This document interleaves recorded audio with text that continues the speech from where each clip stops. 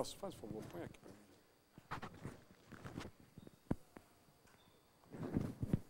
Tá, tá, tá funcionando assim? Acho que não está funcionando não, Nelson. Está funcionando? Uh, eu botei no silencioso meu uh, celular só para saber as horas. São quatro horas e um minuto, já estamos começando. Uh, então, como eu estava dizendo, o, o, Nelson pediu para falar cinco, um certo número de aulas uh, e a gente vai ter, uh, eram cinco lições em quatro dias, quatro aulas. Como teve esse problema que o CVPF não pôde funcionar na segunda-feira, nós ficamos reduzidos a três. Eu vou tentar alongar um pouquinho mais as aulas, porque não podemos fazer semana que vem, que não temos esse anfiteatro mais. Uh, de qualquer maneira, eu acho que isso não vai impedir a gente de ter uma ideia do que, que, do que, que é cosmologia.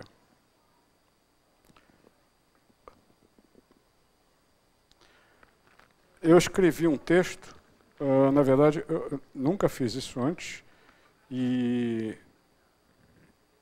e obviamente eu não vou seguir esse texto, só para alguém, alguém ter, mas se alguém quiser pode pegar depois aqui, para ter uma, uma noção de que mais ou menos em que direção a gente vai discutir aqui, uh, conversar sobre cosmologia. Se você entra lá no CNPq, você descobre que a palavra cosmologia não existe. Uh, aparece física, aparece biologia, cosmologia está escondida dentro de uh, física, ou, às vezes, dentro de astronomia. A gente vai tentar entender por que isso, porque, na verdade, a cosmologia, durante todo o primeiro momento, ela não foi entendida como uma ciência como as outras. A gente vai tentar entender por que isso.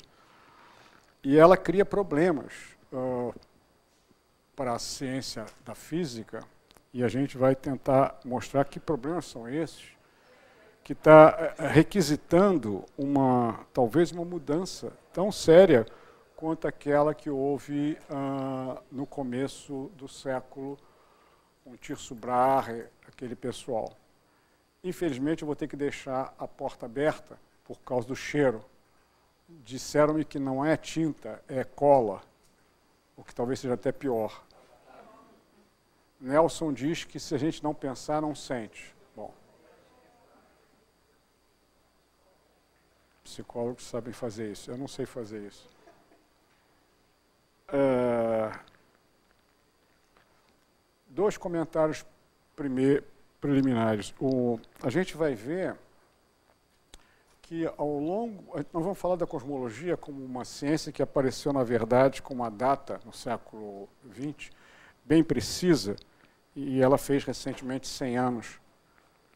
Uh, e a gente vai ver que ao longo do século XX, por várias razões, uh, tudo isso que eu estou falando vagamente, a gente vai poder precisar. Se eu não precisar, vocês podem perguntar. Se eu souber responder, eu respondo. Uh, algumas, algumas das principais uh, ideias da física e da cosmologia do século XX até hoje, elas entram em choque com o nosso dia a dia, nosso senso comum. Uh, e a gente vai ver que isso está ligado ao fato de que, de que, bom, se a gente morrer, eles uh, fazem alguma coisa lá.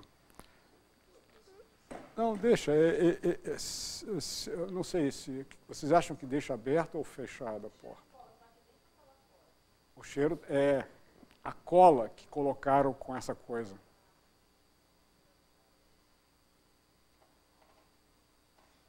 Bom.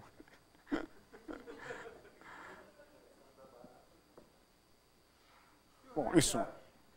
Bom, suma. Uh, e essa dificuldade são dificuldades que uh, apareceram porque nós conseguimos, ao longo do século XX, entender muitas coisas uh, lá no mundo microscópico e lá no, no universo, mas usando uma linguagem convencional, isso cria certa dificuldade de compreensão para quem ah, não está na área. Ah, às vezes, soa até como se fosse uma coisa misteriosa, como, por exemplo, se transformou em mecânica quântica. Não é nada misterioso. O problema está simplesmente que uh, há certos níveis, gradações, nos quais certa linguagem funciona e, e outras linguagens têm que ser substituídas. A gente vai tentar mostrar que coisas são essas. Uh, Para começar, uh, a ideia de cosmologia, a gente vai tentar encontrar ela só no, na última aula, se tiver última aula. Uh, porque a gente pode pedir uma definição de cosmologia, são várias, várias ideias. Para isso, a gente precisa dizer que a cosmologia trata do universo. Só que o universo, uh, e a gente vai ver que ela trata mais do que isso, o que é estranho uh, dito desse modo. E, na verdade, uh, o, se a gente olha o universo que existia há, há uns 100 anos atrás, ele era extremamente pequeno, não tinha essa imensidão de objetos que hoje em dia nós observamos ao longo do século XX. Só para dar uma ideia, uh, os astrônomos garantem que nós temos, uh, além da nossa Via Láctea, que é uma galáxia, ou seja, uma estrutura que tem algumas centenas de bilhões de estrelas, existe no nosso horizonte observável, e a gente vai entender o que, que é isso, existe da ordem de centenas de bilhões de galáxias. Então, a estrutura do objeto que a gente está tratando é bem diferente do que a gente está acostumado a, a tratar na física. Há uma outra questão de princípio complicada, que é o fato de que a ciência foi montada de tal maneira que você possa fazer experiências e repetir essas experiências. Bem, verdade que hoje em dia isso é complicado, com as experiências de, de, de grandes máquinas, as altas energias. A gente ouve falar que no CERN se descobriu o bóson de Higgs mas obviamente uh, as únicas pessoas que podem realmente ter acesso a essa experiência são as pessoas que trabalham no CERN.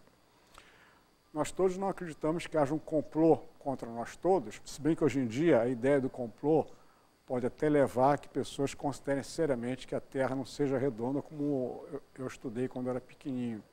Mas, em suma, sem a ideia do complô, a, as experiências podem ser repetidas Nada semelhante na cosmologia. A cosmologia, nós não podemos fazer experiências, nós fazemos observações. E a razão é que, num primeiro momento, a ideia que a gente tem é que esse universo é único. Então, vamos ver que a, história é um pouquinho mais complicada do que a simplificação que eu estou colocando. Mas então, esses são os problemas que, de princípio, que a gente começaria. Então a gente deixa para lá, por momentos, essas dificuldades e vamos tentar ver o que, que a gente pode dizer sobre essa quantidade incrível de objetos que tem no universo. Uh, Para começar, a gente faz uma hipótese, uh, e que é uma hipótese de trabalho boa, que obviamente vai ter que ser revista mais adiante. Infelizmente, ela, como toda boa hipótese, ela uh, foi considerada tão boa que ela inibiu qualquer crítica que apareceu nela posteriormente, e a hipótese é de que aquilo que a gente observa na Terra pode ser extrapolado para todo o universo. Ou seja, que uh, as observações que nós fazemos na Terra são representam não só o que acontece na nossa vizinhança, na Terra, na nossa vizinhança, mas acontece no universo. Se a gente volta ainda pouquinho uh, uh, para pensar que nós temos centenas de bilhões de galáxias uh, essa hipótese soa quase ridícula, de um certo modo, mas é um bom começo, porque é assim que a ciência faz. Ela, quando tem uma, uma ideia, uma teoria, uma explicação de um fenômeno, a gente tem uma tendência a extrapolar isso até o momento em que, eventualmente, ela seja comprovadamente incoerente com algum dado experimental ou com alguma teoria um pouco mais sofisticada. Então, nós podemos começar com a hipótese de que aquilo que a gente estudou, uh, aquilo que a gente fez, descobriu nesses 500 anos de história da ciência, são válidos no universo todo, mas sempre com a atenção voltada que isso é uma hipótese que tem que ser criticada mais adiante e certamente não sobrevive uma crítica mais forte. Uh, então, para isso, a gente tem que começar a perceber que, uh, ao longo do século XX, os físicos conseguiram mostrar que todos os processos uh, na física se descrevem com o uso de quatro interações. Uh, os físicos pretendem que essas quatro interações sejam unificadas. A, a unificação dessas interações pode ser vista de duas maneiras. Uma maneira prática, porque simplifica a, a linguagem com a qual você trata os fenômenos físicos. E a outra é de que haveria processos físicos realmente uh, misturando essas interações. Eu não vou entrar nesse detalhe, a não ser que haja mais uh, questões mais adiante. De qualquer maneira, essas quatro interações. Uh, aqui eu posso escrever, né? Ou não? Posso. Aqui pode. Essas quatro interações, uh, muitas delas vocês conhecem, é a gravitação,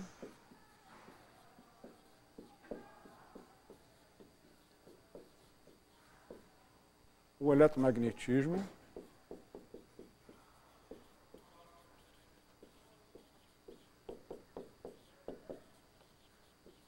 e as interações nucleares.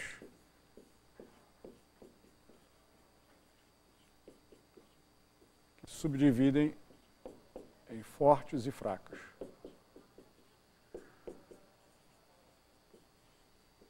Às vezes se chama de Fermi, um físico italiano que foi para os Estados Unidos. E essas quatro interações, eh, mais ou menos a gente conhece, a gravitação é o que faz essa caneta cair, o eletromagnetismo, a eletricidade e magnetismo unificados. Esse é um exemplo de unificação que deu certo, porque anteriormente nós tínhamos eletricidade e magnetismo, que eram entidades separadas.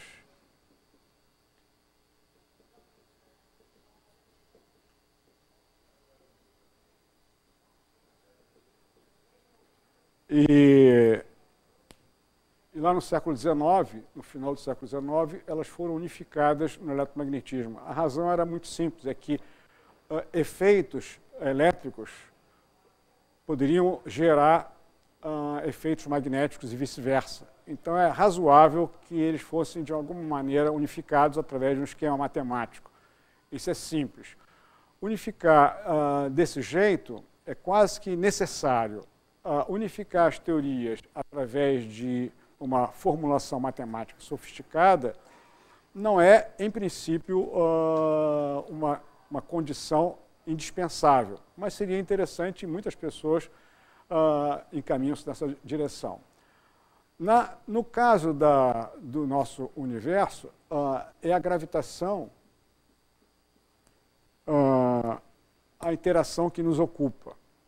Ah, porque uh, no universo uh, as interações nucleares, como elas dizem, são extremamente localizadas, são interações que dão a estabilidade ou a instabilidade da matéria. O eletromagnetismo tem dois sinais, no sentido de que é atrativa e repulsiva, consequentemente, no universo feito de átomos neutros, eles se cancelam, e a gravitação é só atrativa, então, consequentemente, embora ela seja a mais fraca de todas elas, ah, só para dar uma ideia, é, ah, eu posso escrever ah, desse jeito, 10 elevado a 40 vezes é um, um com 40 zeros, a gravitação é 10 a 40 vezes menor, mais fraca do que a força eletromagnética. Então é extremamente fraca, mas por essa razão de ela ser só atrativa, é ela que domina uh, o negócio. Só uma pergunta: esse tipo de conversa está razoável ou.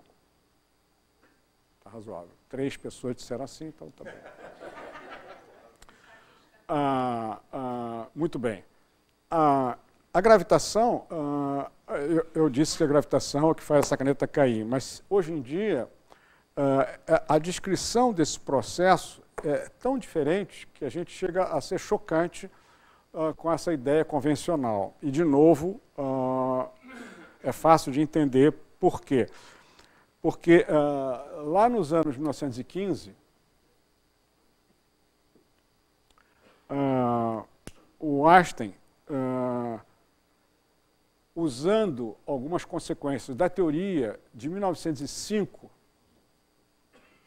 que é a primeira relatividade, essa é a segunda relatividade. A primeira relatividade tem a ver com a estrutura causal. A gente vai falar isso na o que seria a terceira aula, mas vai ser amanhã. A estrutura causal do mundo. Uh, mas em 1915 ele fez a, a, a extensão o, o, termo foi errado, já, já a gente vai entender por que, que o termo foi errado, relatividade geral, mas em suma, é uma teoria da gravitação nova. E essa teoria da gravitação nova é extremamente desagradável para ensinar, porque ela é extremamente matemática. Mas há um exemplo simples uh, que eu vi há 200 anos atrás e que eu repito sempre, algum de vocês já deve ter visto, que é o seguinte, uh, uh, o que o, o o argumento do Einstein é, é que o seguinte, se você pegar esse plano a duas dimensões, imagina agora quatro, e colocar, isso seria o nosso espaço-tempo, e colocar um corpo, essa caneta, aqui nesse espaço-tempo, eu vou mexer no plano, ou seja, vou mexer no espaço-tempo, e a caneta automaticamente mexe. Trivial, óbvio.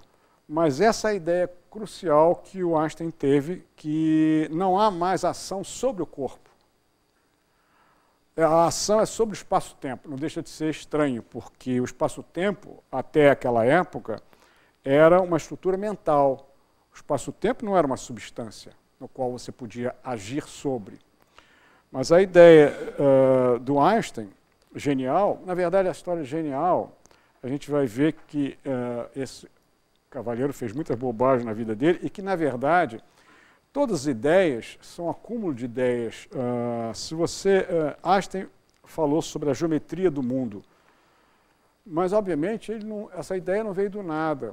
Uh, lá atrás, um, um matemático alemão, Riemann, tinha pensado já que a geometria do mundo não podia ser a priori, como se pensava desde lá uh, alguns milhares de anos atrás, ela tinha que ser alguma coisa observável.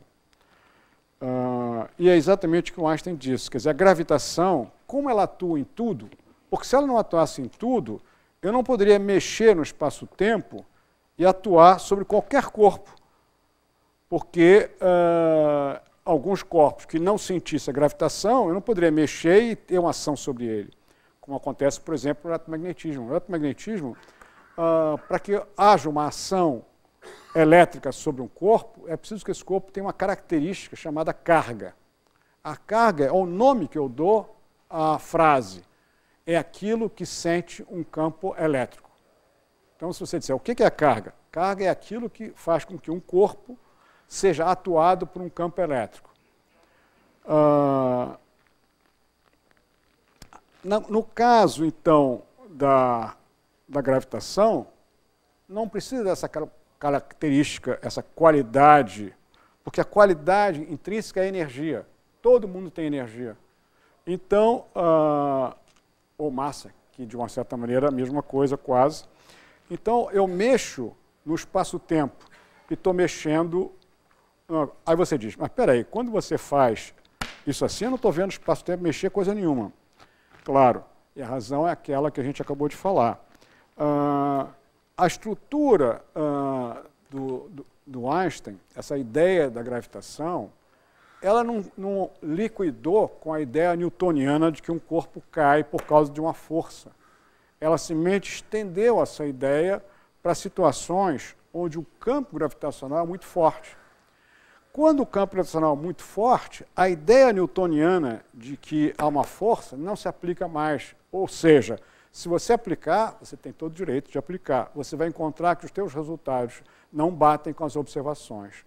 Então, uh, consequentemente, essa ideia de que eu mexo no espaço-tempo, ela se reduz, e matematicamente isso é fácil de mostrar, ela se reduz à ideia de newtoniana. Ou seja, o que o Einstein fez, como qualquer nova teoria faz, não é liquidar a teoria anterior, mas simplesmente mostrar que ela tem uma limitação de alcance. Fora dessa região, ela não pode ser mais usada. Está claro isso? Isso acontece em todas as áreas, em todas as coisas, e não só na física. Muito bem. Uh, Nelson pediu de novo, uh, mais de uma vez, que eu não pudesse usar nenhuma equação. Eu não vou usar nenhuma equação. Eu escrevi aqui uma equação no texto. Uh, uma só, mas simplesmente uh, eu falo uma coisa muito simples uh, ao introduzir essa equação que você pode simplesmente deixar de lado.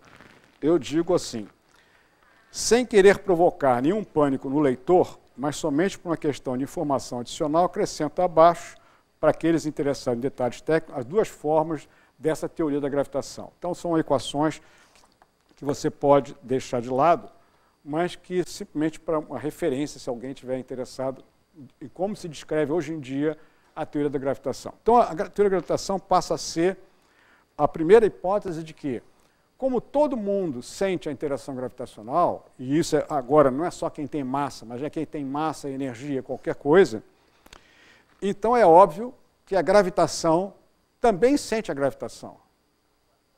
Ou seja, como a gravitação, como tudo mais que existe, é energia, porque essas coisas, eletromagnetismo nuclear, essas coisas todas, são processos energéticos.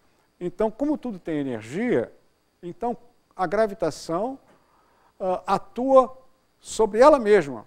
Consequentemente, uh, na física uh, e na matemática, a gente usa esse termo não linear. Ou seja, é não linear porque ela atua sobre si próprio. E isso vai gerar essa situação complicada que agora a descrição não é mais tão trivial como era na época do Newton, mas isso vai ter uma série de consequências notáveis, uma das quais, é, e, antecipando o resultado, porque tem, um, tem uma aula que eu perdi, então, antecipando o resultado, é, faz com que esse universo possa ser autocriado.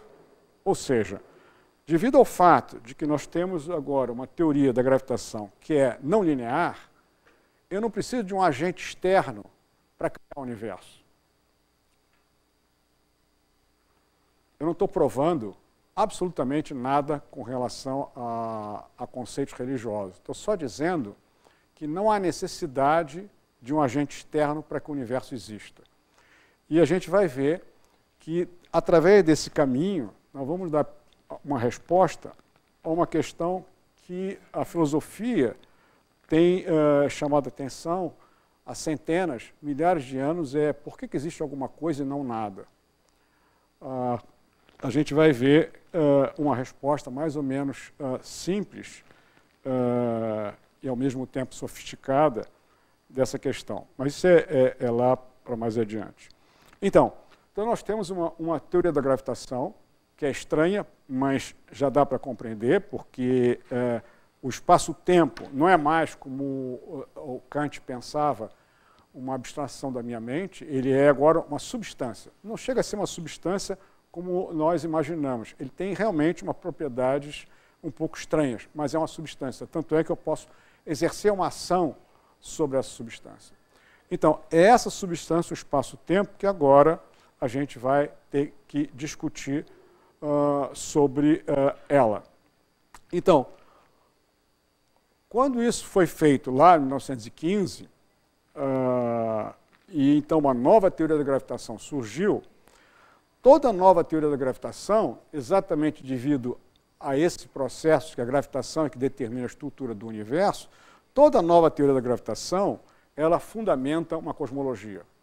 Então, se amanhã uh, nós mudarmos como há várias propostas uh, entre os físicos, a teoria da gravitação, não é mais a teoria do Einstein, então nova cosmologia vai aparecer. Então aconteceu exatamente isso lá em 1915.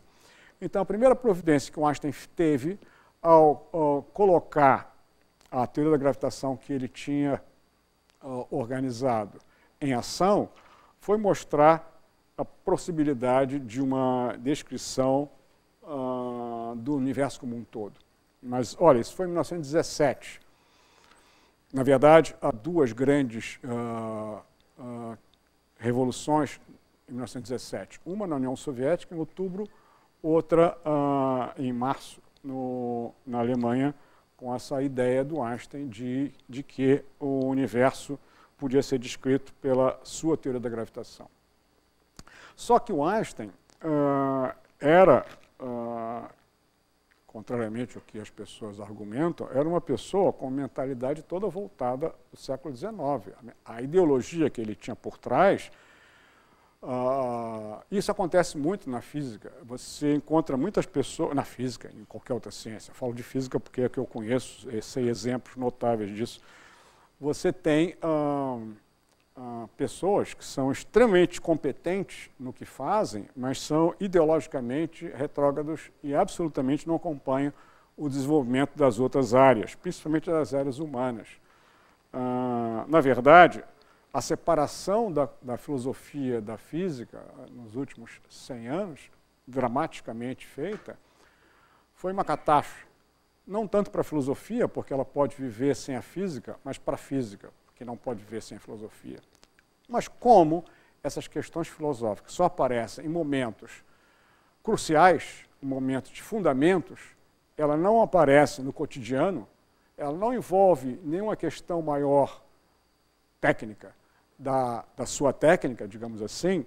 Então, e como nós vivemos praticamente num cenário onde quem domina o mundo capitalista é a tecnologia, então, isso não tem grandes problemas e pessoas, até mesmo presidentes da República de países, podem dizer que filosofia não tem menor importância numa carreira científica, o que é uma bobagem.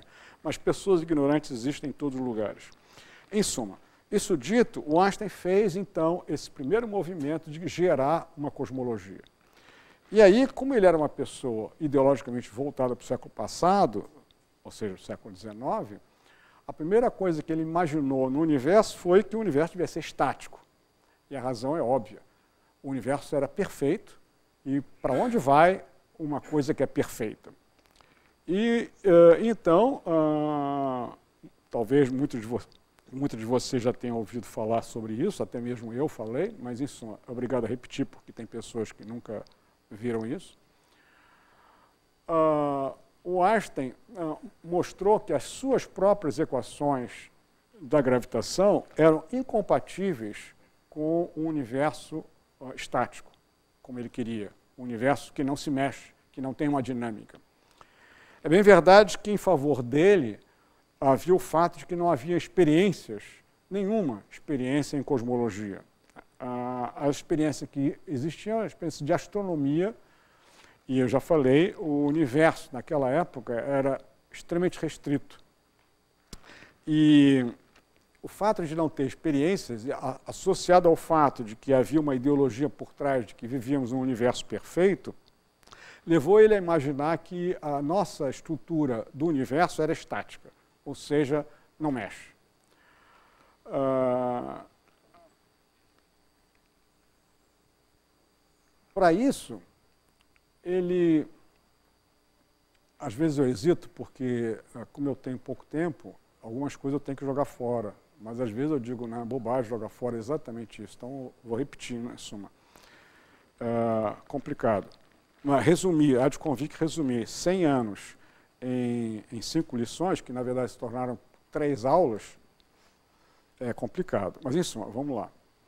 Uh, o que ele faz é, é uma coisa fantástica.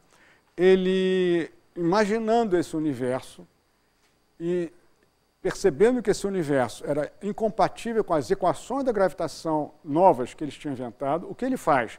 Ele muda as equações. Isso realmente é genial, porque ele diz, essas equações estão erradas. Ele mudou a equação de Newton, que eram válidas em 350 anos, dois anos depois, ele está mudando por causa da cosmologia. Realmente, essa, essa, essa foi uma, uma situação muito interessante, mostrando uh, que embora ele tivesse uma ideologia fora da física, ah, digamos assim, do passado, ele era uma pessoa extremamente coerente com, seu, com sua crítica do trabalho, da atividade científica dele. Ele muda as equações de tal maneira que as equações permitam ter o universo como ele tinha pensado. Genial essa ideia. Quer dizer, uh, eu vou mudar hoje as leis da gravitação porque eu tenho uma ideia do universo. Realmente, acho convir que isso é genial. Uh, e aí ele faz um movimento uh, que, ao mesmo tempo, genial e, ao mesmo tempo, paradoxal. Por, movimento esse que ele vai refutar logo em seguida, e vamos ver por que ele faz isso.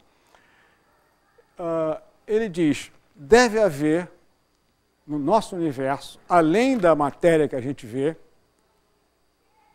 que era simplesmente naquela época, estrelas distribuídas mais ou menos aleatoriamente no nosso modo de observar, deve haver uma forma de energia distinta, e essa forma de energia distinta é que exatamente inibe o movimento do universo.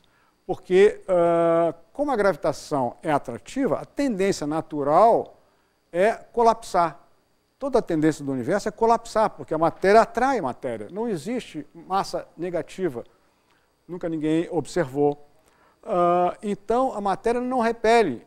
Uh, a gente vai ver daqui a duas aulas que essa frase tem um contexto distinto mais adiante. Mas, em suma, a matéria não repele, então a matéria só atrai.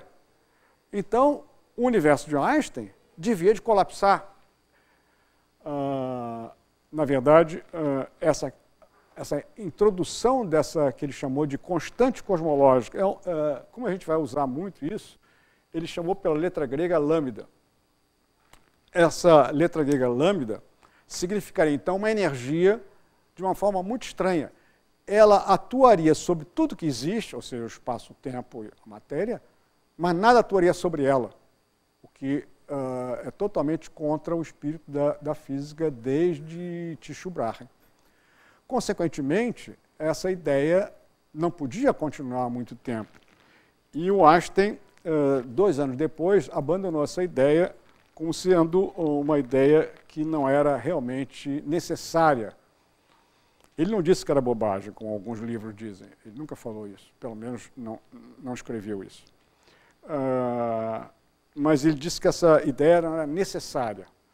E não era necessária porque se descobriu logo em seguida, uh, com um, um físico russo, se descobriu que sem essa constante cosmológica lambda, ou seja, sem essa energia, quase com uma energia negativa a se opor à matéria uh, atra atrativa, essa energia equilibrava o sistema. Mas a catástrofe continuava. Por quê? Porque se mostrou logo em seguida que, mesmo com esse equilíbrio, esse equilíbrio era um equilíbrio. Eu gosto de dar um exemplo mas não tem nenhuma bolinha aqui eu colocar uma bolinha na minha uh, mão assim, nessa parte côncava, e eu der um piparote, ou seja, uma perturbação no universo, a bolinha oscila e depois para lá. Se eu botar, por outro lado, uma bolinha em cima da parte convexa, eu der um piparote, a bolinha vai embora e não volta mais. Estável, instável. O que se mostrou em seguida é que esse modelo do Einstein, esse universo de Einstein, era instável. Ou seja, não tinha tempo suficiente para sobreviver, para dar origem ao próprio Einstein e a nós todos. Então, não era o universo que a gente observa. Mas em 1917, 1917, 1919, e na verdade só em 1922 é que foi oficializado isso, um russo, que na verdade era meteorologista, e matemático nas horas vagas, teve uma ideia que revolucionou praticamente a cosmologia e até hoje, desde 1922, oficialmente a 22, até hoje, que vai fazer 100 anos daqui a pouquinho, nós vamos ser obrigados a comemorar, ah, ah, mostrou que o universo mais uh, natural, sem precisar dessa constante, sem precisar de nada disso, com a matéria que existe da maneira convencional que a gente conhece, ele é um processo dinâmico. É um processo como se você tivesse o volume inteiro em, em expansão. Ideia desagradável, porque nós não conseguimos imaginar o universo inteiro, porque a gente tem sempre uma tendência a nos colocar do lado externo de, dessa mãozinha que está fazendo isso assim, mas só que não tem lado externo. Então, na verdade, é difícil de você imaginar. Tem pessoas que gostam de fazer desenhos, essas coisas todas. Mas, em suma, o ponto concreto é que é, é uma estrutura como se você tivesse uma variação do volume total do, do universo. Ou seja, o volume total do universo uh, estaria variando com o tempo. Lá pelos anos 20, uh, o final dos anos 20, essa ideia foi, de uma certa maneira, observada. E uh, observada uh, por várias pessoas, mas como sempre acontece, um deles, e sempre deve ser um, alguém de natureza anglo-saxônica, uh, recebeu o, o, nome de, de Hubble, é, tem um satélite até com o nome dele, etc. e tal. Hubble teve envolvido nisso, está longe de ter sido o primeiro, mas em suma, não importa, é um nome. Uh, e o Hubble mostrou, Hubble quer dizer esse nome simbólico de pessoas que fizeram essas observações, uh, mostrou que, na verdade, o volume do nosso espaço aumenta com o passar do tempo. Aí você vai perguntar, peraí, peraí, peraí, um minutinho. Você falou que a questão causal ia ser falada só daqui a uma ou duas horas. É verdade, eu vou ter que falar um pouquinho antes, porque vocês já ouviram falar que na relatividade especial, uh, cada observador, antigamente é um relógio, hoje, tem um, um aparelhinho desse, cada observador tem o seu relógio próprio e que não coincide necessariamente com os outros, porque tem diferentes estados de movimento. E como é que agora você está me falando de que existe um tempo único absoluto, essa é uma hipótese que a gente vai ter que fazer nesse primeiro momento e nós vamos ver depois de onde ela aparece. Como sempre aparece de um matemático. Na verdade, uh, eu, eu, digo aqui que essa ideia aparece em vários lugares. Hum, os, esse tempo uh, na matemática chamado tempo gaussiano, porque Gauss era, foi a pessoa que uh, descreveu muito bem essa, essa noção de tempo único global. Não sei se vocês sabem, eu já falei isso aqui em algum lugar. Gauss eh, tinha o status um pouquinho acima de Deus na Alemanha nessa época. Ah, ah, tudo aquilo que a gente conhece, Gauss teria feito antes. Bom, em suma. Ah, os físicos chamam esse tempo, não um tempo gaussiano, como os matemáticos, chamam-se de tempo cósmico ou tempo global. Eu, eu, eu, eu, ousaria dizer, depois vocês podem discutir sobre isso, que os filósofos chamariam isso tempo de duração. A razão vai vir depois que a gente examinar essa discussão. De qualquer maneira, havia um tempo comum no universo e, para esse tempo comum, o volume total do espaço aumenta com o tempo. Catástrofe. Por quê? Porque exatamente nós ah, acabamos de mostrar, ou de dizer, que a gravitação era só atrativa. Como pode, então, uh, um fenômeno só atrativo começar a se expandir, contrariamente ao que você está dizendo, que a gravitação é só atrativa? Uh, a gente vai ter que discutir isso um pouco mais adiante. Vamos ver, ainda hoje dá tempo para a gente voltar a essa questão. Só ver. Caramba, 40 minutos já. Uh, em suma, aqui acontece uma coisa interessante. Friedman, uh, eu gosto de falar isso porque desmistifica um pouco certas, uh, certas ideologias. Uh, o Friedman enviou o trabalho dele, no final dos anos 20, 21, para uma revista que era a língua natural de se falar naquela época, o alemão. e Obviamente, naquele, naquela época, veja, 1921, 22, acabou a, a Primeira Guerra Mundial uh, havia pouquíssimas pessoas uh, sabedoras dessa teoria do Einstein da gravitação. Uh, bom, o é, vale a pena. O Eddington uh, era um inglês que, uh, muito jovem, que escreveu um livro sobre, logo em seguida que o Einstein fez a teoria dele, escreveu um livro sobre essa teoria da gravitação do Einstein. Ele tinha 21 anos. E um, repórter foi perguntar a ele se era verdade que uh, só três pessoas sabiam, conheciam a teoria da relatividade geral. E aí ele disse, quem é a terceira? Uh, obviamente, as duas pessoas que ele entendia seria só ele e o Einstein, isso é óbvio.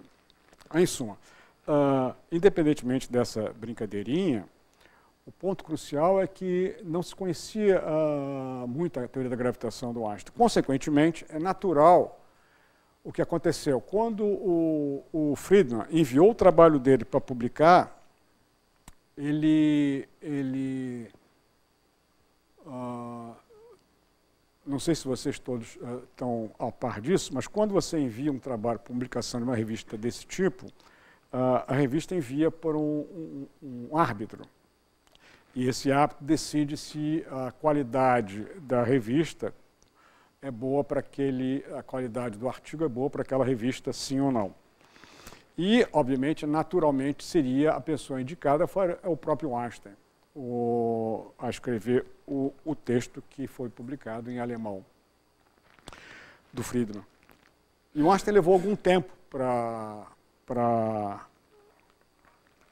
algum tempo para uh, responder se a revista era boa. Eu resolvi colocar aqui uma cópia, porque isso é tão espantoso que as pessoas poderiam até acreditar que eu estou inventando coisas. É, eu tenho uma cópia na página 49 do primeiro artigo do Friedman, que foi uh, recebido somente em 1922, e uh, tem o comentário que o Einstein fez no mesmo ano, na mesma revista, uh, a cópia do comentário do Einstein uh, traduzido para o inglês. o Einstein diz que, embora ele ache interessante a ideia do Friedman, ele tem uma suspeita, suspeita é o termo técnico, suspeita de que essas equações estão erradas. Não existe esse termo suspeita em física. Ou você tem que mostrar que ela está errada. E ele então escreve uma equação. Uh, qualquer, uh, hoje em dia, qualquer aluno, guardado as devidas proporções da distância, pode mostrar que é uma ingenuidade que o Einstein fez tão grande que fica a dúvida. Eu não sou psicólogo, mas fica a dúvida. Por que, que ele se deixou levar tão longe para criticar um artigo no qual o Friedman mostrava que a teoria dele, Einstein, do universo não era boa. Bom, em suma. Uh, de qualquer maneira, o Friedman criou esse problema uh, de que o universo é um processo de expansão. E logo em seguida, uh, na verdade, um pouco depois, deixa eu ver se eu tenho aqui a data, 1931, oito anos depois, o, sai um livro de um físico belga, uh, George Lemaitre, onde o, o título chama-se O Átomo Primordial. E o subtítulo é Um Ensaio de Cosmogonia. Esse artigo aqui deu origem, embora a palavra Big Bang não apareça nesse artigo, só aparece muito mais tarde com o Fred Hoyle, mas esse artigo é que gerou a ideia de que o universo eh, podia ser associado ao que os físicos haviam acabado de demonstrar a desintegração da matéria. Então você vê, os físicos lá na física atômica, física nuclear, mostravam que a matéria se desintegra. Ah, e então ele pegou essa ideia, imaginou então que no fundo, no fundo, havia um átomo primordial E é esse átomo primordial que faz com que o universo se expanda. Uh, isso criou problemas. Problemas do tipo, mas uh, se o universo está em expansão, isso quer dizer que então esse momento lá de condensação máxima é uh, o que a gente chamaria de singular, porque como se reduz a um ponto, como quer o Lemaitre, uh, esse ponto teria ali todas as divergências das quantidades físicas. Eu ainda continuo falando normal ou não?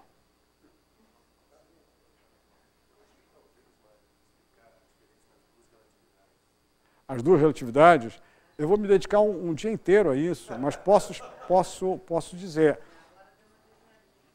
A primeira relatividade uh, foi relatividade especial, alguns chamam também de restrita, que falava, não tinha nada a ver com a gravitação, falava só de como diferentes observadores podem uh, interagir na troca de informações, porque os relógios físicos, numa estrutura onde o espaço e o tempo estão grudados, é difícil da gente imaginar, mas é isso que acontece, uh, os relógios, se movimentados, possuem um tic-tac diferente. Então, cada observador, dependendo do seu estado de movimento, tem um tic-tac diferente. Isso é relatividade especial, a gente vai entrar em detalhes amanhã ou depois de amanhã. A relatividade geral é, é a teoria da gravitação.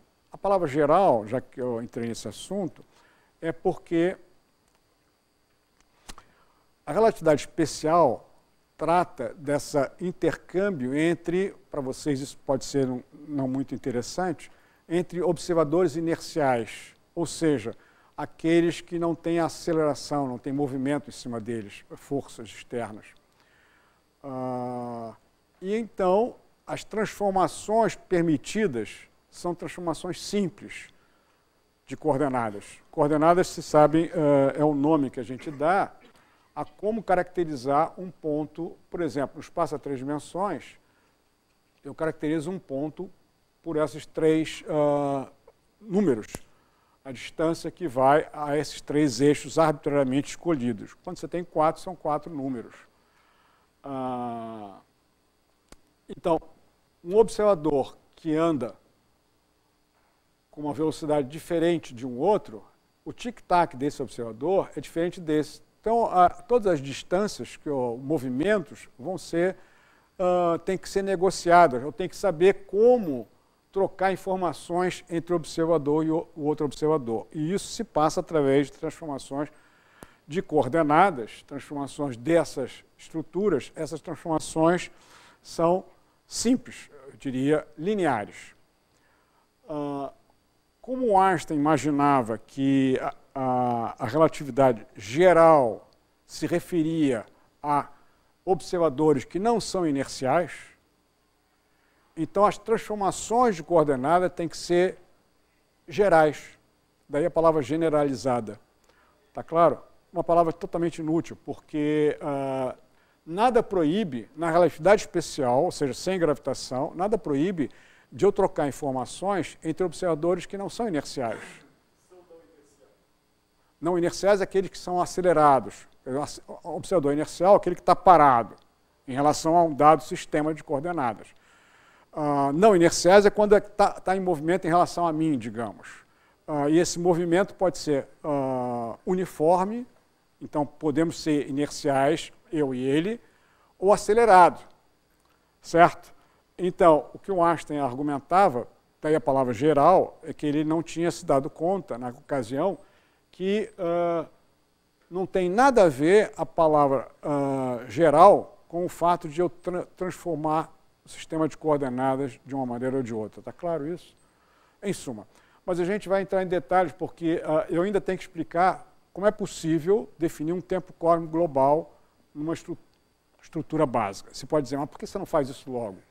porque isso vai ter consequências e uh, uh, eu, eu, prefiro falar algumas coisas antes sobre o. A, a, minha ideia é em cada, cada, cada ideia chegar até hoje. mesmo passando por cima de várias outras. Porque se a gente for parar em cada momento e picotar, a gente vai fazer desvios e esses desvios vão deixar, uh, imagino eu, não sei, vocês é que sabem, mais confusos ou não. Bom, em suma, eu, essa escolha, se vocês uh, quiserem de outra maneira, a gente pode fazer de outra maneira. Mas vamos continuar então assim. Então, o que, que faz o, o problema que aparece?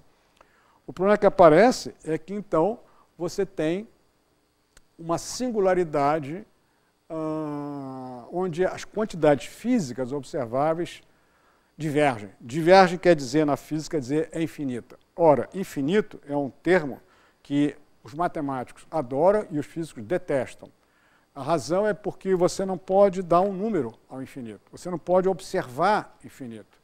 Você pode uh, observar qualquer número, menos esse supostamente número chamado infinito. Não há um número que faz parte do jogo, embora a maior parte das situações da física se envolve matematicamente com o infinito, mas isso é outra coisa. Então, imaginar que você tenha uma estrutura tão importante quanto aquela, o universo onde existem ingleses, por exemplo, é, é, é impossível imaginar que dependa simplesmente da, de um ponto singular, onde, obviamente, eu não posso extrair nenhuma informação. Por que eu não posso extrair informação? Porque eu não posso medir nada nesse ponto singular.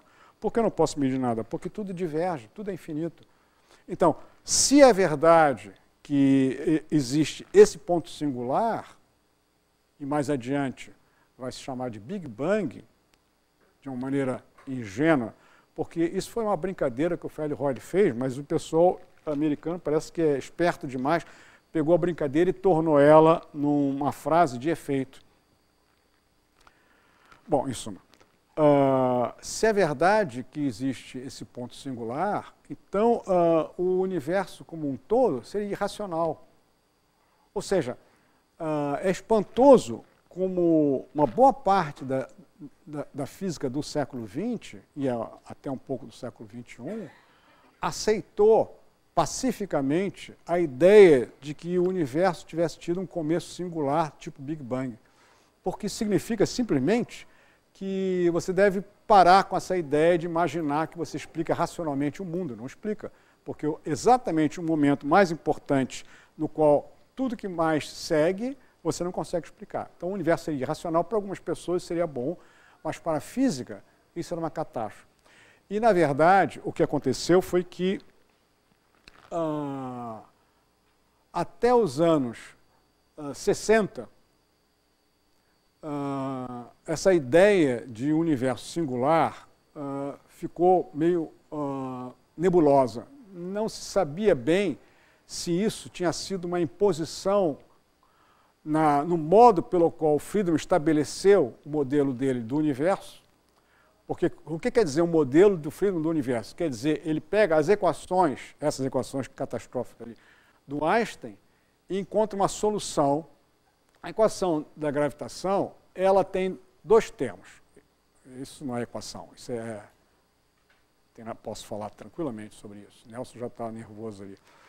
Uh, o, o lado, que é o lado onde você tem a geometria, e outro lado onde tem matéria. E a equação diz que uh, a matéria determina a estrutura geométrica do espaço-tempo. O que quer dizer determina a estrutura geométrica? Determina que as réguas e relógios as réguas, os comprimentos, variam com o campo gravitacional. Isso é espantoso, porque não vejo absolutamente nada. Quando cai, não vejo absolutamente nada acontecendo. De novo, não é aqui que a gente vai ver isso, a menos que tivéssemos observações extremamente rigorosas, mas lá, em qualquer lugar onde a intensidade da gravitação é forte, é isso que acontece. Ou seja, as réguas e os relógios, que são o que determinam a geometria do espaço-tempo, elas variam com o campo gravitacional. Isso é, é aquilo que eu falei desse jeito, agora está ganhando uma outra estrutura. Na verdade, isso que eu faço assim, para dizer que é a, a estrutura geométrica, é simplesmente a, a distância e é o modo pelo qual as réguas e os relógios funcionam no campo gravitacional. Difícil de entender esse ponto, Uh, é difícil porque a gente não vê isso, mas vamos tentar uh, uh, acompanhar, porque é assim que funciona a, a, a cosmologia nos dias de hoje. Ou seja, o que se dizia então era, quando o Friedman determinou uma solução dessas equações da gravitação, talvez ele tenha feito hipóteses para conseguir essa solução que não são realistas. E é por isso que aparece essa singularidade. Então, até os anos 60, em 64, houve dois grandes movimentos, uh, um teórico e um observacional, na cosmologia. E nesse momento é que a cosmologia adquiriu um status privilegiado uh, na ciência, que é um movimento observacional foi a, a, observação de que o universo tinha uma radiação de fótons, uh, luz, só que específicos, uh, de, uma, de um tipo de radiação que os físicos encontram no laboratório terrestre, chamado de radiação de corpo negro, é um nome. E essa radiação significa os fótons, à medida que o universo está em expansão, a temperatura desses fótons está diminuindo. Isso significa que se eu for andar para trás, a temperatura está aumentando. Consequentemente, é aquilo que eu falei ainda há pouco, a temperatura lá na singularidade é infinita. Então, é essa a questão crucial. Mas então, o, em 64, se observou esses fótons, e do ponto de vista teórico, uh, dois ingleses, e um alemão e um sul-africano, mostraram alguns teoremas que argumentavam que, dentro de certas hipóteses, a singularidade que aparece na solução de Friedman é inevitável. Vamos dizer de outra maneira. Uh, que, uh, embutida na teoria da gravitação do Einstein, existe a ideia de que essa singularidade, cósmica ou não, é inevitável. Uh, com isso, nos anos 64, foi uma revolução, porque então se adquiriu a ideia correta, de um certo modo, de que o universo tinha realmente tido um começo há uns poucos bilhões de anos atrás, e esse começo era uma espécie de explosão, como queria o, o Lemaitre. Problema: o problema é que uh, a gente sabe, todos nós sabemos, do, quando a gente aprendeu lá no colégio, uh, um teorema ele é feito de certas hipóteses e, através de uma certa conclusão, a partir dessas hipóteses, chega-se a um resultado. Então, esse resultado, que era a inevitabilidade da singularidade no modelo cosmológico, qualquer que seja ele, seguiria do teorema. Mas para isso era preciso que esse nosso universo satisfizesse as condições de aplicabilidade do teorema. Está claro? Então, se esqueceu desse detalhe, por várias razões, não importa agora, e ao se esquecer desse detalhe, a comunidade inteira uh, foi absorvida pela ideia do Big Bang, de que o universo tinha tido um começo singular. Ah, até mesmo o Papa Pio XII fez um comentário interessante a respeito de que, ah, misturando atividade religiosa com a atividade dos cosmólogos, que foi uma catástrofe. Mas, em suma. Ah, e a ideia do Big Bang tomou conta ah, do cenário da física e ah, até o final dos anos 70, quando a, apareceram os cenários de ricochete. Em inglês a palavra chama-se bouncing. Uh, e esse ricochete dava uma, uma história totalmente diferente do universo. Uh, a, mostrava que o universo podia ter tido uma fase anterior a essa nossa fase, onde o volume aumenta. Essa fase anterior seria um colapso. Esse colapso seria o volume todo estaria diminuindo, atingiria um, um ponto de volume mínimo, diferente de zero, e a partir daí começaria uma fase de expansão. Então, a dificuldade de entender a explosão é transformada em duas outras dificuldades. Quais são? O que, que teria dado origem ao colapso? E segunda, por que, que parou o colapso e começou a expansão? Mas isso os físicos sabem fazer.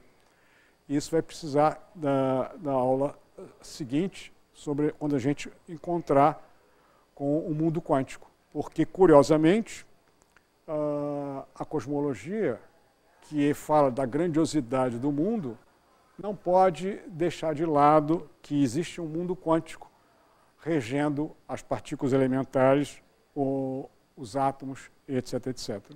Então, embora uh, no final dos anos 70 essa ideia de, de um, um ricochete do universo, um processo ricochete, o que levava pessoas a imaginar eventualmente mais de uma dessas configurações, uh, embora isso tenha sido uh, colocado em, em, revistas científicas, o, a ideia de que uh, o universo tinha tido um começo explosivo não saiu das páginas dos jornais nem das televisões tão cedo.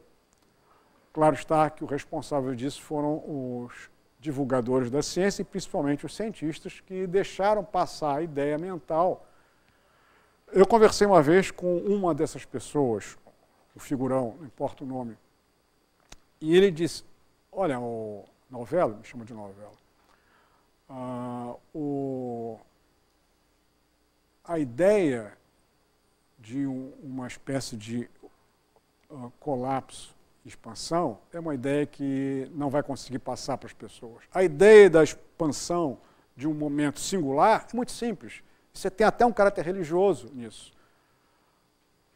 Aí eu fiquei espantado como é que um cientista podia aceitar a ideia de que houvesse um momento irracional. Como ele era um muito bom cientista, isso me deixou pensar como foi uh, um erro muito grave separar as ciências humanas das ciências exatas. Em suma, isso dito, deixa eu ver, uh, uh, eu tinha pensado em, em, em, dar só uma hora e meia, porque eu fico cansado, mas vou tentar dar um pouquinho mais, porque perdemos uma aula. Uh, eu, eu, aqui nesse texto, eu mostro exemplos desses cenários cosmológicos e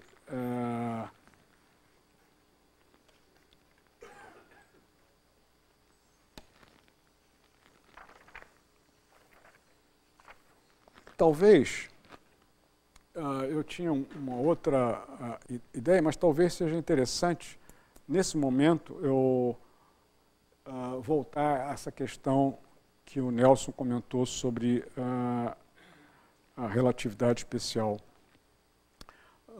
vamos então fazer um intervalo e, e, falar sobre isso. A, a ideia crucial é que, de uma certa maneira, ah, diz respeito até o, a questão causal, ah, porque, veja você, vamos supor que eu tenha ah, uma estrutura em que eu possa separar o espaço e o tempo com um tempo global. Eu vou representar esse tempo global com essa superfície sigma. E as diferentes, os diferentes tempos aqui, o T1, T2, T3.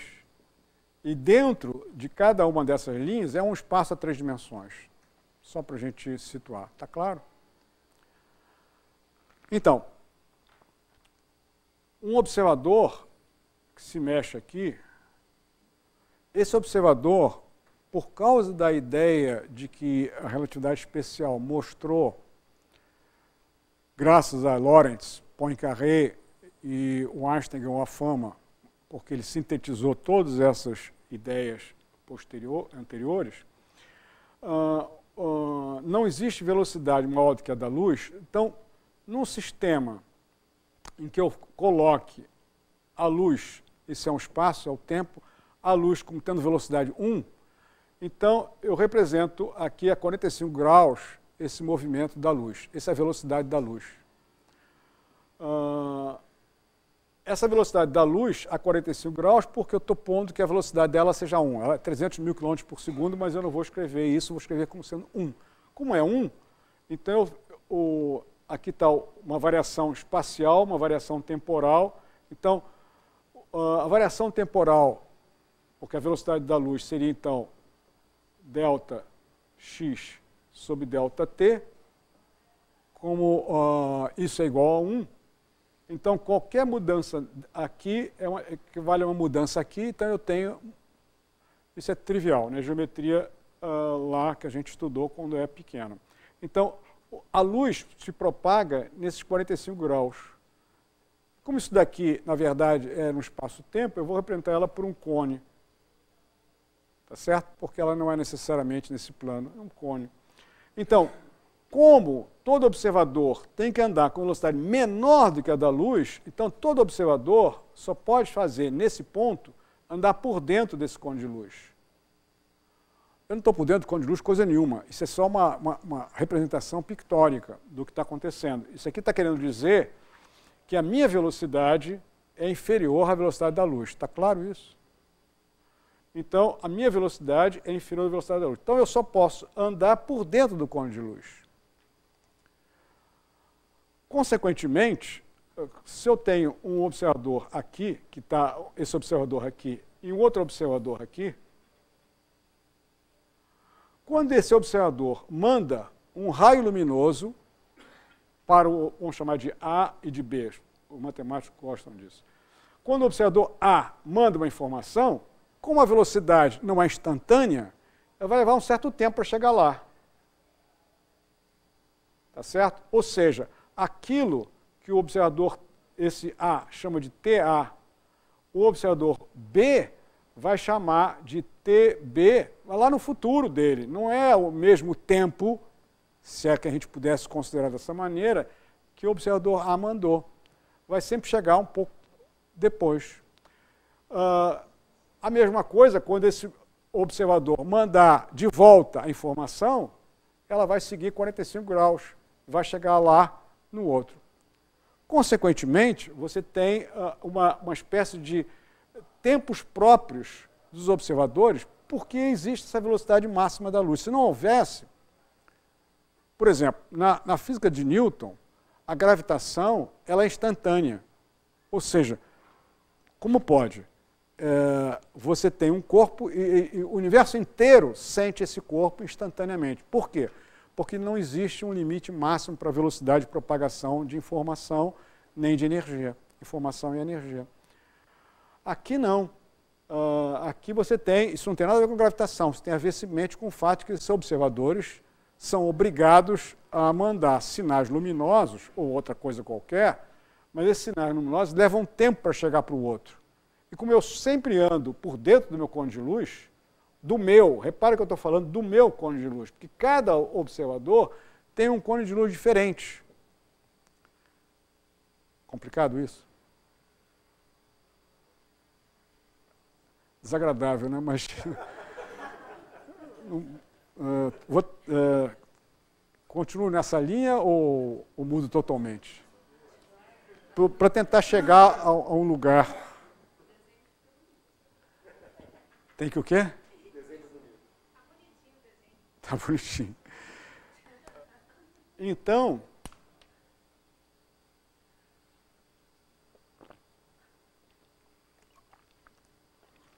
Então veja você, vamos supor que o universo tenha tido um começo aqui, T0. Então eu tenho, imediatamente depois, em T0 eu não sei o que vai acontecer, mas imediatamente depois eu tenho um observador A e tenho um outro observador B. Vamos supor, só para imaginação, de que esse universo tenha, como alguns modelos cosmológicos uh, mostram, tenha uma expansão até o máximo e devido à força gravitacional que tende a parar a expansão, colapse. Então esse universo teria um começo e um fim, num tempo finito. Vamos chamar esse tempo uh, aqui, TF. Então vamos chamar isso aqui de TI. Tempo inicial, tempo final. Olha o que vai acontecer. Uh, esse observador daqui e esse observador daqui nunca vão saber que eles existem. Eles nunca vão poder trocar informação. Porque a informação desse daqui, em qualquer momento, ela nunca chega lá no outro. Porque a velocidade da luz é finita. Igualzinho esse daqui, ó. Mesmo que ele vá até o final da, do universo, esse observador, que obviamente não é uma pessoa física, é um observador, é um instrumento, uma, uma máquina, alguma coisa assim, esse observador e esse observador não vão nunca poder saber que eles existem. Está claro? Estranho, mas é assim que. E, e, isso tem a ver com duas questões. Primeira, que existe a velocidade máxima de propagação da luz e que há um tempo inicial e um tempo final. Claro está que se não tivesse um tempo uh, final,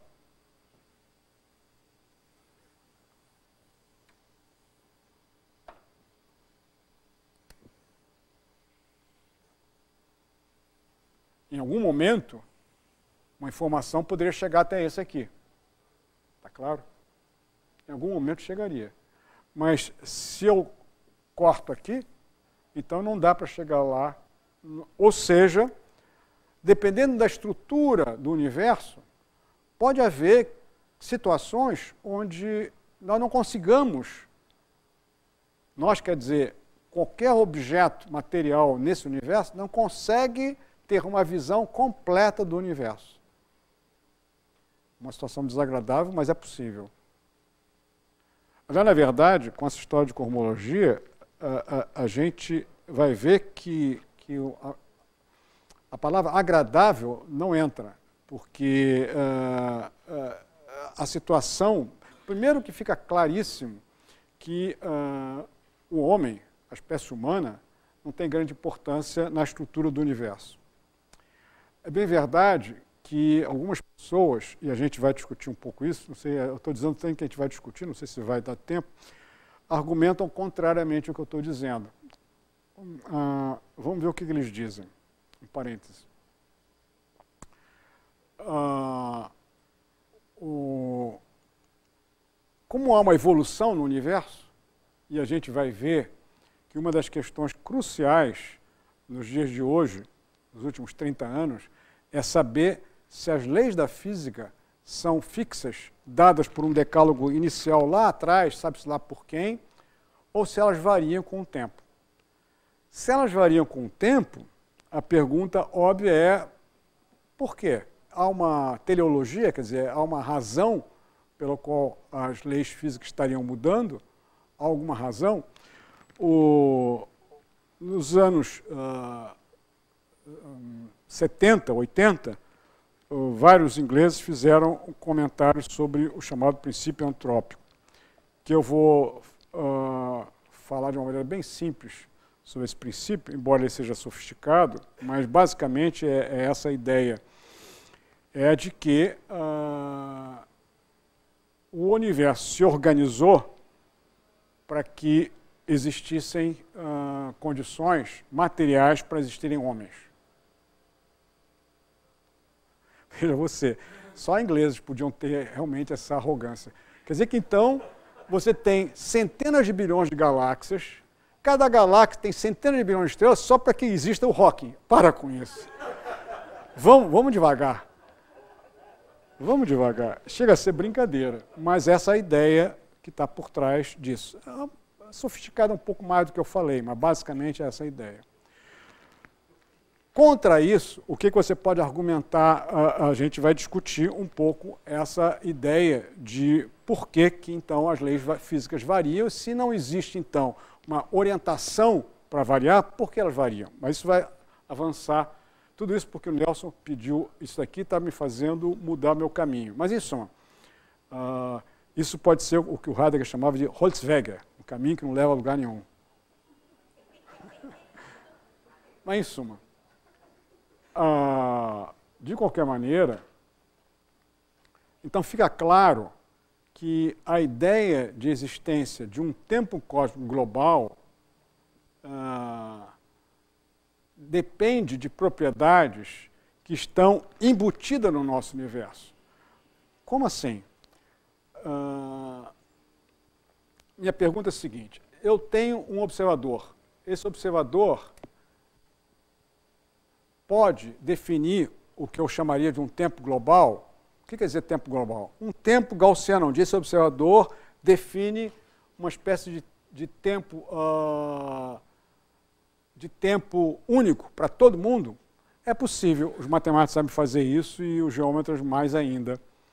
Mas o que o Gauss mostrou, de novo Gauss, é que isso esbarra em certas propriedades que independem do observador, mas dependem da estrutura do espaço-tempo. É difícil de entender isso, vou tentar de, de outra maneira. Ah, a ideia de um tempo cósmico global requer uma direção única que a gente possa saber futuro e passado. Futuro, passado. Então eu sei que o observador vai dessa maneira. Mas para que esse futuro e passado seja claro e universal, esse observador não pode cruzar duas vezes essa mesma curva. Essa curva que eu chamo de tempo global. Ou seja, esse observador não pode fazer isso. Ele estaria voltando para o passado. Ou seja, voltar ao passado significa passar duas vezes pelo, por, essa, por esse tipo de tempo cósmico global. Ou seja, para impedir que nosso universo tenha exatamente possibilidade de ter curvas que voltem ao passado, então nós somos levados a, a impor a hipótese de que existe um tempo global. Está claro? Porque se não existisse um tempo global, então a experiência de volta ao passado seria possível. Por quê? Bastaria eu simplesmente fechar o circuito aqui. Pronto. Ou seja, eu teria uma curva que sempre, em cada momento, ela não viola o princípio da relatividade especial, mas ela está voltando ao passado. Como é possível isso? Muito simples. Uh, a gente já viu que um observador, ele sempre vai dentro do cone de luz, certo? Mas já viu também que tudo que existe sofre ação gravitacional, inclusive a luz. Consequentemente, esses cones de luz, que a gente está dizendo que na relatividade especial são todos direitinhos paralelos, e aí define um tempo único para todo mundo, cósmico global, para toda a sequência de observadores inerciais, a luz pode sofrer desvio gravitacional. Quando? Quando o campo gravitacional for muito forte. Consequentemente, ela pode ser tal que, embora eu esteja em cada momento andando por dentro do cone de luz, isto é, com velocidade menor do que a da luz, eu acabe voltando ao meu passado. Está claro?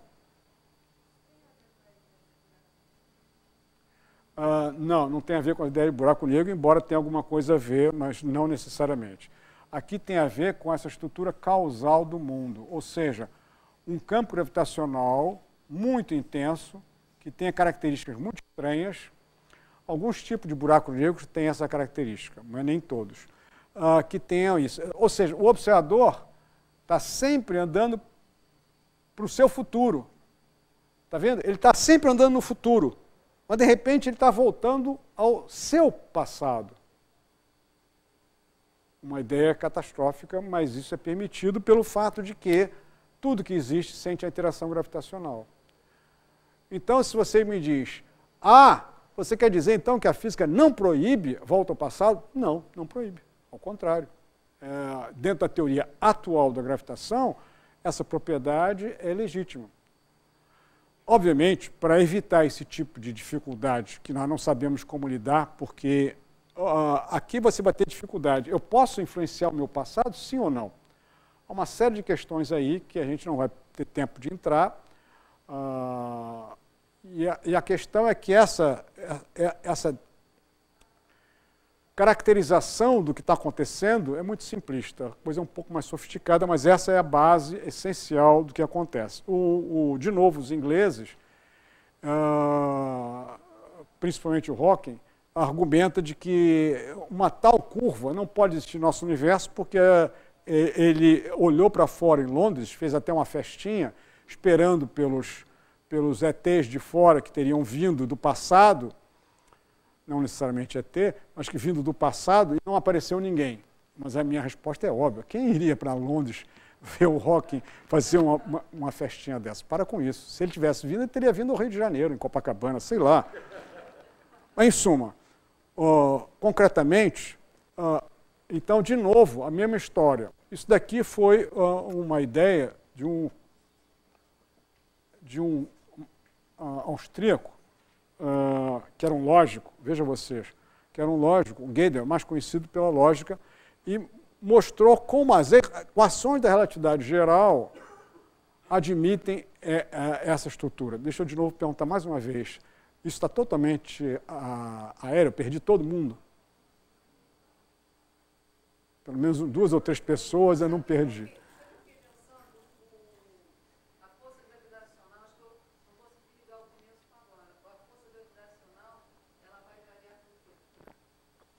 Ela vai o quê?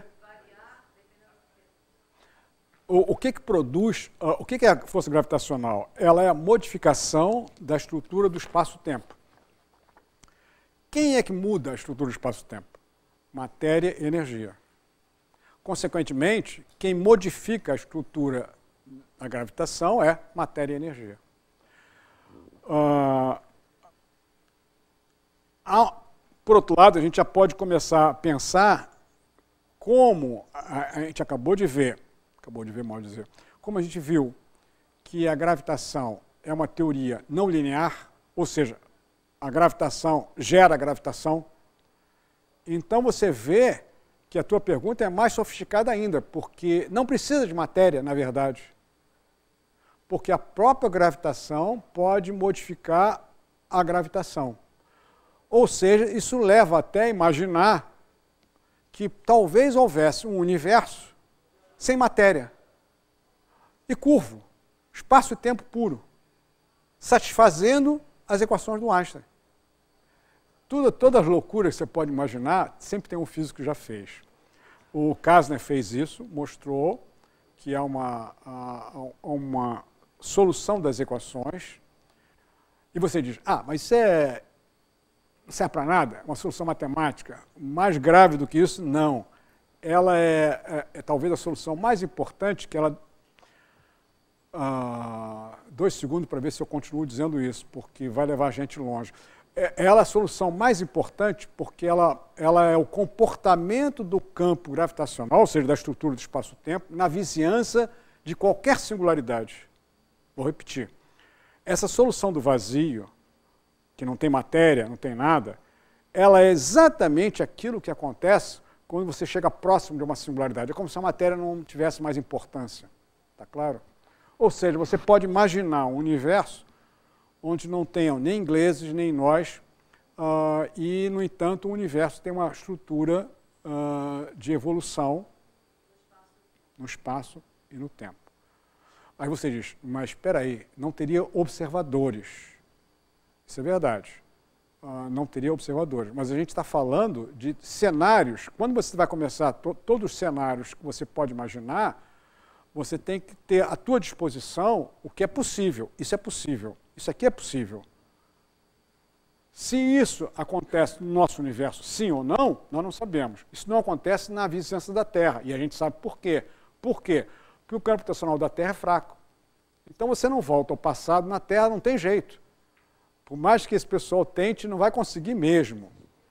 Entende? Não vai conseguir mesmo. Uma vez um, um camarada, depois que eu publiquei um livro chamado Máquina do Tempo, coisa parecida, Círculo do Tempo, eu acho, uh, teve um, um, um, Vale a pena contar essa história, porque é tão estranha. Teve um. espero que ele não esteja aqui, né? Teve um, um rico fazendeiro de laranjas que me veio até mim, e naquela época uh, era difícil, daqui a pouco talvez, talvez a gente teve também nessa época, conseguir verbo para fazer conferências. E ele disse, não, eu, eu pago as suas conferências aqui para fazer a sua Brazilian School of Cosmology and Gravitation. Maravilha, mas eu queria que você visse lá a minha fazenda. Tá bom, fomos lá. É, ah, você vai até Campinas, tudo pago por ele, fomos lá Campinas de avião, tinha lá um, um, um jeep esperando pela gente, nós fomos na, na, na, fazenda dele, era uma fazenda que tinha laranjas. Não sei se você já visitou uma fábrica de, de, de suco de laranja, é uma catástrofe, um cheiro insuportável, mas assim, insuportável. Não dá para ficar um segundo lá dentro. Bom, pois bem, e as pessoas não usavam máscara, ninguém usava máscara, os operários. Né? Obviamente o patrão nem entrava lá dentro, que ele não está aqui para brincar. Muito bem. Uh, aí fomos almoçar.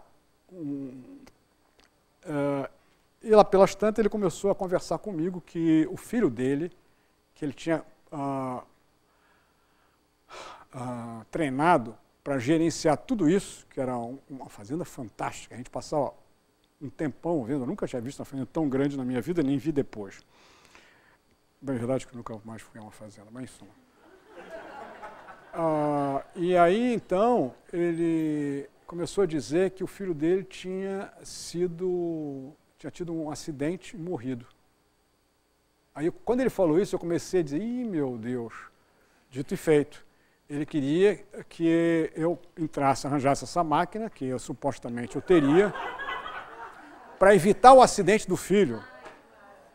O que é complicado, porque o Guedes já dizia que isso é complicado. Bom, eu não conto os detalhes, como eu consegui sair de lá e viver depois disso, esquece. Então, então de, de qualquer maneira, às vezes um cosmólogo se mete em confusões que não tem nada a ver com. Bom, em suma. Então, você vê que viagem ao passado, se você me perguntar só isso, é possível? Eu digo sim. Aí você vai dizer: esse camarada é maluco. Mas você tem que me perguntar: por que, que eu não faço essa viagem?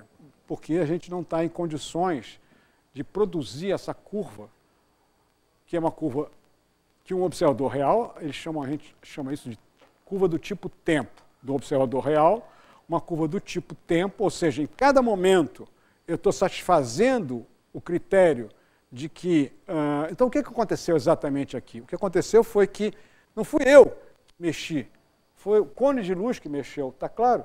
O cone de luz é que foi invertido. Então, como o cone de luz foi invertido, eu estou sempre direitinho, estou andando, eu, não tem nada de especial na minha a velocidade que eu ando, tranquila, não tem nada de especial nesse observador, nada, nada, nada. Qualquer um de nós andando em velocidades normais. Mas o que é preciso é ter exatamente uma região do espaço-tempo onde esses cones de luz têm essa característica. E a gente mostra que isso não existe na nossa vizinhança, nem, nem talvez na nossa galáxia. Se existe no resto do universo, a gente não sabe uh, ainda, porque isso é um modelo, meu Deus, modelo formal. Deixa eu só, deixa eu só tentar entrar no que eu estava pensando em, em dizer.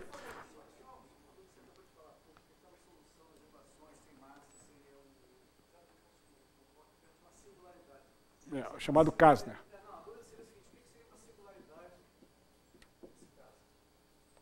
É a mesma coisa. A singularidade toda, toda singularidade tem a mesma característica, ou seja, a, a, aquilo caracteriza o campo gravitacional, porque é a única coisa que existe lá, diverge, tem valor infinito.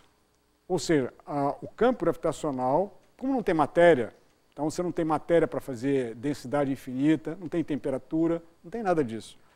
Só tem campo gravitacional. Então, campo gravitacional, naquele ponto, diverge. Ou seja, a, a curvatura do espaço-tempo digamos assim, que é o nome técnico que se usa para essa estrutura, ela diverge. Ou, se você quiser, a energia gravitacional é infinita naquele ponto. Está claro? É, é, a definição de singularidade sempre é a mesma. Alguma energia, seja ela da matéria, seja ela do campo gravitacional, quando é da matéria, o campo gravitacional vai junto. Mas não precisa, porque quando não tem matéria, é só o campo tradicional que tem divergência, está claro? Mário, acho que só para fechar os pontos, seria interessante... Que pontos?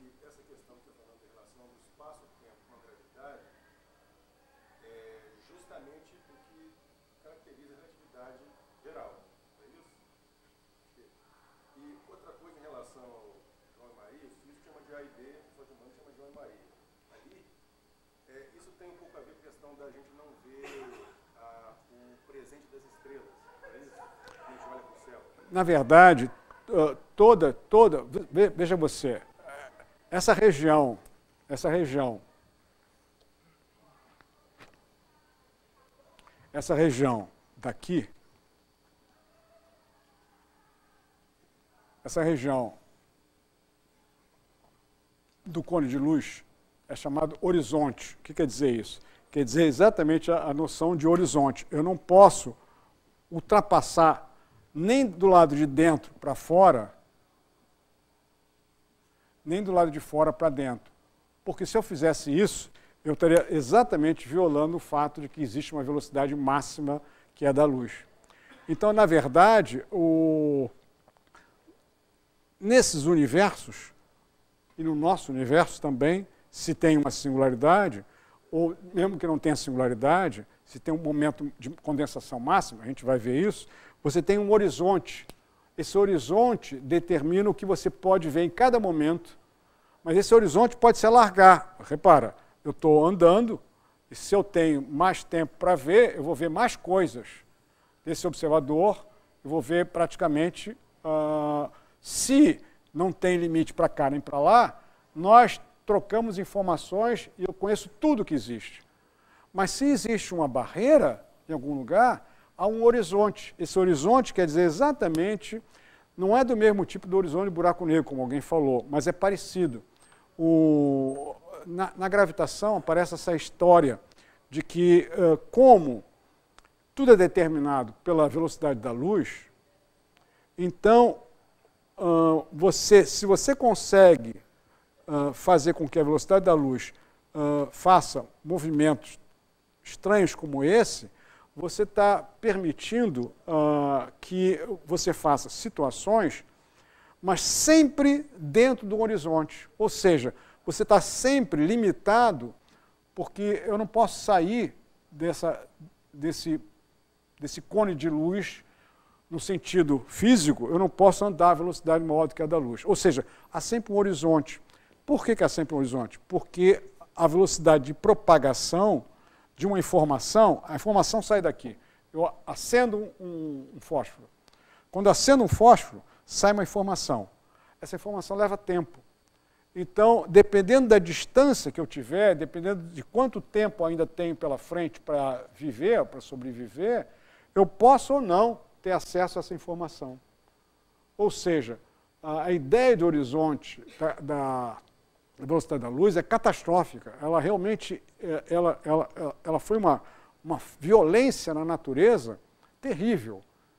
E uh, aí você pergunta, mas é possível mexer nisso? O pior é que é possível. É possível. Mas isso vai afastar a gente do nosso. Uh, eu estou muito cansado, deixa eu só terminar para tentar recuperar o que, eu, eu, o que o Nelson me fez um desvio grande aqui. Esse, esse, uh, então, já que eu estou falando sobre isso, uh, eu vou então. Uh, aí você diz, mas espera aí, você falou que um observador pode sempre determinar um tempo cósmico para esse observador, mas sempre limitado. Então, não sei se, uh, se vale a pena entrar nesse detalhe, porque é possível fazer, mesmo para esse observador daqui, que está andando para o passado, uma tal configuração, mas acho que não vou fazer não, porque isso fica muito sofisticado e não sei se ganha muita coisa em explicação. Isso aqui já está suficientemente complicado para a gente ficar por aqui mesmo nessa história de, de, de, de estrutura causal do tempo. Ou seja, o que a gente está vendo é que ao mexer na causalidade lá atrás, na relatividade especial, argumentando por observações que nada no universo pode se propagar com velocidade maior do que a da luz, essa argumentação, ela, eh, de uma certa maneira, mudou toda a estrutura causal a partir de então. A gravitação, que é a única capaz de. Por que, por que o eletromagnetismo não faz isso? Por que, que as outras interações não fazem isso? Por, a gente já viu por quê. Porque ah, quem mexe na estrutura ah, do fóton aqui, quem faz isso daqui, é a gravitação. Então, é a gravitação que está influenciando o fóton, ou seja, o fóton, o fóton é o grãozinho de luz, né? não sei se eu já falei isso. O, o grãozinho de luz, ele cai num campo gravitacional, ou seja, como isso daqui, ele cai. A representação que a gente está fazendo aqui é mudando os cones de luz. Eu estou repetindo isso de outra maneira, para ver se fica mais claro. Então ele vai mudando, mas é o fóton que está caindo no campo gravitacional. E eu sou obrigado a. a porque eu também estou sentindo a interação gravitacional. Mas a interação gravitacional que eu estou sentindo e que o fóton está sentindo nunca vai me permitir ultrapassar o cone de luz. Por quê? Porque significaria que nessas condições eu estaria passando a velocidade da luz, o que é proibido, que é um princípio fundamental dessa teoria uh, completa que a gente está discutindo aqui, que é a teoria vigente na física da gravitação e, consequentemente, na cosmologia. Então, vamos tentar pôr uma ordem nisso tudo. Então, nós começamos por imaginar que você tem uh, que a gravitação seja a teoria, a força que determina a estrutura do espaço-tempo, porque ela é universal e é uh, somente atrativa. Então, ela determina. Aí nós vimos que uh, no, nos anos, uh, na primeira década do século XX, que a gravitação foi alterada por essa estrutura estranhíssima, que é, ao invés de ser newtoniano, é uma mudança no espaço no tempo, ou seja, na geometria do espaço-tempo, na distância. E, obviamente, é difícil de a gente imaginar, porque isso não acontece. A gente continua achando que a força é newtoniana. É razoável, porque essas estruturas são só verdadeiras para campos gravitacionais extremamente intensos que a gente não sente. Entende? Então é razoável que seja assim. É difícil de entender. Mas vamos supor que a gente tenha uh, aceite o que eles dizem, esses físicos. Muito bem. Aí então você tem uma, uma, uma teoria da gravitação. Essa teoria da gravitação gera um modelo cosmológico. O modelo cosmológico mais razoável, que foi de uma certa maneira, pelo menos em linhas gerais, é o modelo de Friedman, com mudanças aqui e ali, mas isso não é importante, essas mudanças para discutir nesse momento. E uh, aí passou-se imediatamente para a ideia de que o universo deve ter tido um começo singular, segundo o cônigo Lemaitre, até os anos 70. Os anos 60 houve a ideia mais ou menos uh, óbvia de que tem os teoremas de singularidade teriam demonstrado que essa singularidade é inevitável. Mais adiante se descobriu que as condições de aplicabilidade dos teoremas, ou seja, as hipóteses do teorema, não são, obviamente, aceitas em todas as configurações do nosso universo, consequentemente, os teoremas não são aplicáveis em todas as configurações, consequentemente, não é verdade que uh, a teoria da gravitação do Einstein tenha necessariamente uma singularidade Uh, consequentemente, você pode ter cenários de universo, por exemplo, que ou você pode ter um cenário do universo, simplesmente que o universo começou com um dado volume e expandiu-se. Isso é possível. Ou o universo que simplesmente uh, teve um colapso, parou num certo volume mínimo e se expandiu. Isso também é possível. Você diz, ah, mas então é uma questão de gosto? Não é uma questão de gosto, porque a cosmologia exatamente está tentando hoje através de consequências, porque as consequências desse cenário, universo com ricochete ou universo singular, há consequências disso, há pegadas disso no nosso universo. Então, ah, uma, uma, vez um camarada me disse, há mais de 30 anos atrás, ah, você é do, é do clube contra o Big Bang. Eu disse para ele, olha só, eu faço física, eu, eu, meu clube é Fluminense uh, uma, que aliás hoje vai se dar mal, mas isso. Uh, e, na verdade, uh, a, a, física não tem essa história de clube, ela, ela tem um, um, um encadeamento racional. A ideia de ter uma singularidade, Big Bang, é uma ideia catastrófica, porque faz com que, se eu aceitasse o Big Bang, eu parava de ser físico. Porque significa que o universo inteiro, o projeto que tinha Tycho Brahe, aquele pessoal todo, de imaginar que é possível entender racionalmente o universo, seria jogado fora. Por que seria jogado fora? Porque dependeria de um momento onde é irracional. Então, basta um momento irracional para, puf, jogar tudo o que se faz para fora. Só não se joga por causa do sistema tecnológico. A, a, na verdade, a ciência hoje ela está montada. Quem, quem, quem, produz ciência hoje em dia são, ah, não são aquelas pessoas como Ticho Brahe, que tinha lá um, um, um rei para dar um dinheirinho para ele. Não. Hoje em dia são os institutos, as universidades, são privadas ou, ou, ou públicas. E isso, na verdade, o sistema inteiro só o governo brasileiro é que não percebe que num sistema capitalista a tecnologia é fundamental. Consequentemente, os cientistas devem ser, uh, devem ser apoiados. Mas até isso, parece que esse pessoal não consegue entender. Até mesmo dentro do cenário capitalista neoliberal que eles pensam, até isso está errado. Mas isso, mas isso não é meu problema. Consequentemente, nós temos, entramos num cenário em que a gravitação domina tudo. E a gravitação, você diz, mas peraí, ela não domina aqui. É verdade. Por que ela não domina aqui? Exatamente pelo fato de que é Newton. Ou seja, o campo gravitacional da Terra é fraco. Por isso a gente pode entender por que, que não é possível voltar ao passado na Terra nunca, nem no Laranjal, nem em lugar nenhum.